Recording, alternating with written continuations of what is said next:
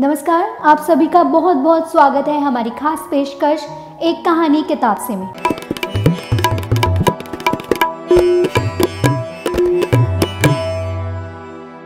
आज हम आपके लिए जिनकी पुस्तक लाए हैं, वे वरिष्ठ पत्रकार, लेखक, फ़िल्म पर सर्वोत्तम लेखन के लिए और साथ ही राष्ट्रीय फ़िल्म पुरस्कार के स्वर्ण कमल से सम्मानित अनंत विजय की पुस्तक है, जिसका नाम है अमेठी संग्राम। ऐतिहासिक जीत अनकही दास्तान ये इन दिनों काफ़ी चर्चा में भी है। इस पुस्तक में अमेठी के इतिहास के साथ ही स्मृति ईरानी की वर्ष 2014 से 2019 की संघर्ष यात्रा की भी चर्चा बेहद बारीकी ढंग से की गई है। लेखक ने स्मृति ईरानी की विजय के कारकों को समझाने के बहाने भारतीय राजनीतिक दलों और नेताओं की कार्यशैली, राष्ट्रीय स्वयं सेवक संघ की दूरदृष्टि, भाजपा की रणनीति प्रधानमंत्री नरेंद्र मोदी की लोकप्रियता, गांधी परिवार की ताकत का मिथक और क्षेत्रीय दलों के स्वार्थ का लेखा जोखा तो लिया ही है। स्मृति ईरानी की रणनीतिक, व्यवहारिक और राजनीतिक कार्यशैली को भी सूक्ष्मता से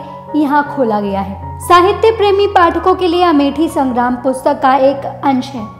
विद्रोह क्रांति का या बगावत कोई ऐसी चीज़ नहीं जिसका विस्फोट अचानक होता है।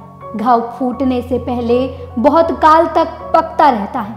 विचार भी चुनौती लेकर खड़े होने के पहले वर्षों तक अर्ध जागृत अवस्था में फैलते रहते हैं। राष्ट्र कवि रामधारी सिंह दिनकर ने आज से तिरसठ साल पहले अपनी महत्वपूर्ण कृति, संस्कृति के चार अध्याय में ये बात खुलकर लिखी थी।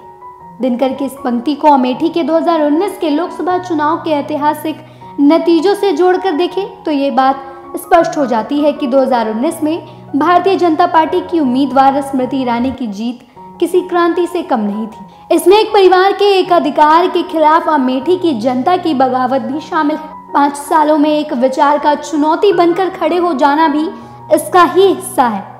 तो ये भी कि सालों से स्थापित विकास व परिवार का साम्राज्य जैसी मान्यताएँ कितनी भिन्न थी। इन सभी बातों का बखूबी से इस किताब में वर्णन किया गया है। अनंत विजय के द्वारा लिखी इस किताब का प्रकाशन एका, प्रकाशन के तहत किया गया है। अगर आप इसे पढ़ने का मन बना रहे हैं तो आप अपने नज़दीकी बुक स्टोर पर जाकर आसानी से खरीद कर पढ़ सकते हैं। इसे पढ़ने के बाद आप स्मृति ईरानी के राजनीतिक जीवन संघर्ष को बेहतर रूप से समझ पाएँगे। फ़िलहाल के लिए साहित्य से जुड़ी इस जानकारी में इतना ही। फिर जुड़ूँगी आपके साथ अन्य साहित्यिक जानकारियों को लेकर। बस आप यूँ ही जुड़े रहिए हमारे चैनल मीडिया दरबार के साथ। धन्यवाद।